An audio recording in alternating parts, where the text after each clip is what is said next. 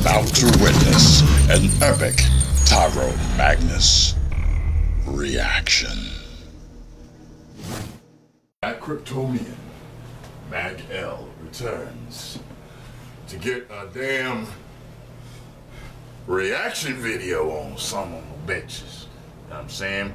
I was Captain Merc for a few days now. I am Mag L, the Black Kryptonian. And I'm about to react to Super Fast trailer. So it's a comedy, it's a Fast and the Furious parody. So let's get this in. All I know is this.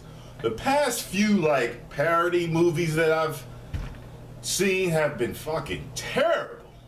Hopefully this is funny. Well, you know, what happened to the Naked Gun days? Naked Gun and Airplane, they were fucking hilarious.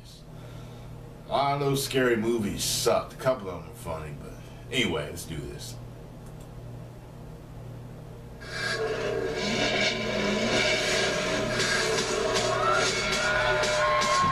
The race is around the factory and back. Who's in?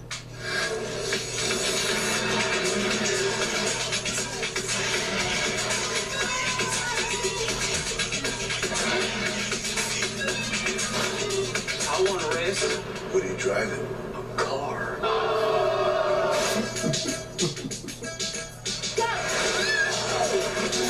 I almost beat you. You can't even beat yourself. I've been beating myself since junior high.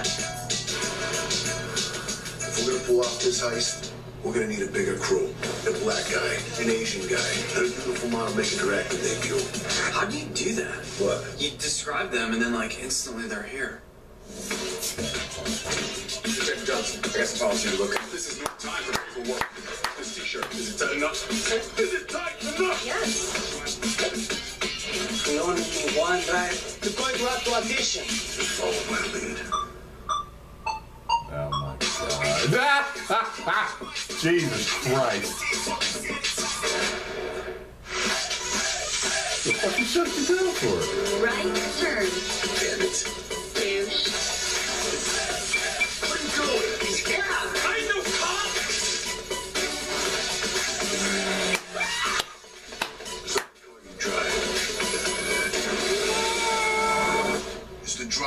driving the car that's doing the driving.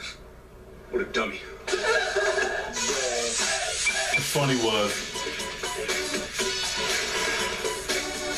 I was wondering if The Rock was going to be in it, you know, The Rock character, and they put him in there.